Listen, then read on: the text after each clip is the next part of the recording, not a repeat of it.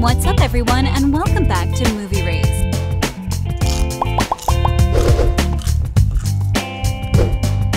In 2019, the TV show Suits ended after nine seasons. Four years later, the show became popular again when its first eight episodes were added to Netflix in June. Many new fans started watching to see what happened to the characters like Mike Ross, Harvey Specter, Donna Paulsen, and Rachel Zane. Now viewers are wondering if there will be a new season. But the creator Aaron Korsh said on Twitter in August that there's no plan for a reboot or anything new. He mentioned that it would require various factors like the writer's strike ending, a network or streaming service showing interest, and everyone involved wanting to do it. Despite this, the executive producer Gene Klein has a different opinion. He expects to hear about the show returning sooner or later, considering the trend of reboots and reunions in the entertainment industry. So while the creator seems against it, the producer is more optimistic about the possibility of Suits coming back.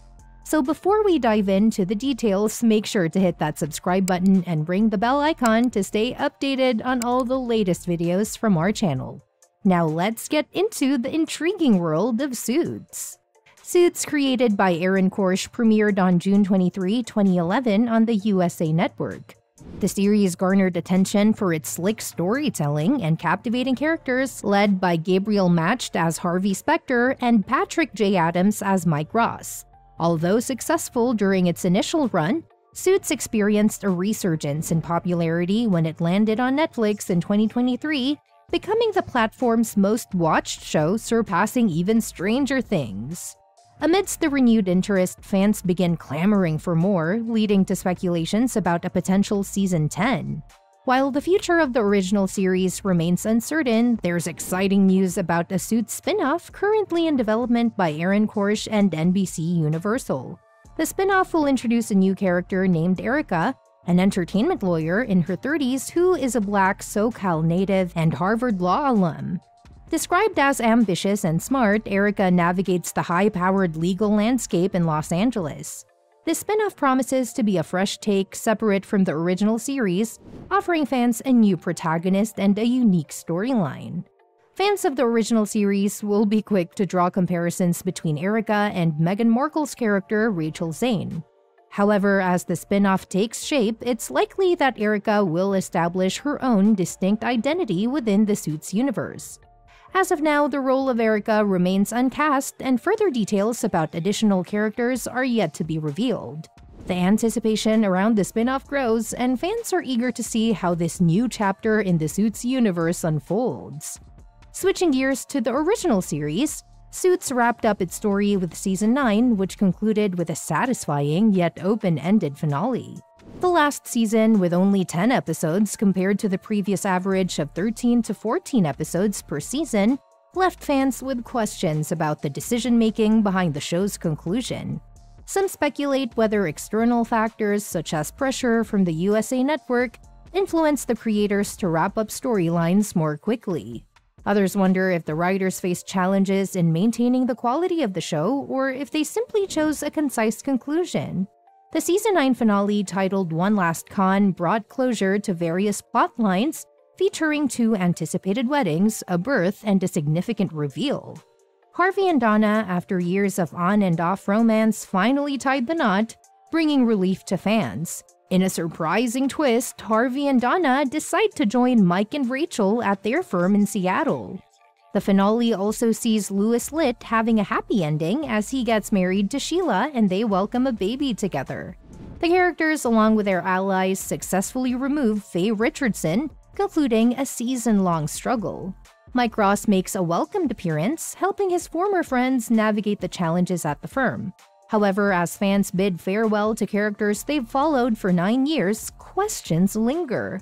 The departure of key characters like Mike, Rachel, and Jessica raises uncertainties about the future of the firm. Will Season 10 explore how Harvey adjusts to a different legal landscape, or will he eventually return to the original firm? One of the most intriguing dynamics to watch in a potential Season 10 is the shift in power between Harvey and Mike. For nine seasons, Harvey served as a mentor to Mike, guiding him through the legal world.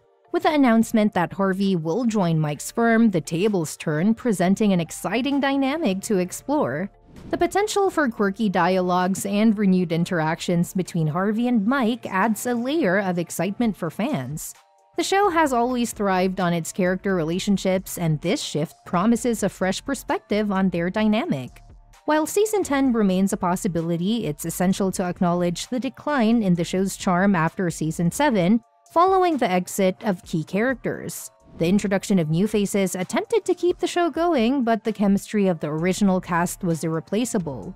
While many details are still being kept secret, the latest update reveals progress in the suit spin-off. The show has officially named its first character and provided some insights into the plot.